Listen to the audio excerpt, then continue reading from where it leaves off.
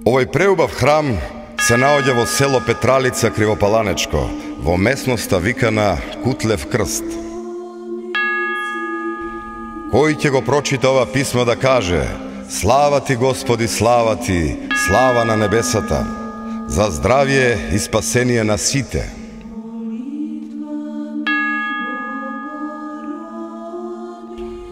Овој светол и чесен храм, посветен на Пресвета Троица, со милоста Божја се создаде и се заврши во месец мај 2015 лето Господово, со трудот и издатоците на ктиторите, сите со потекло и корен од овој преубав крај.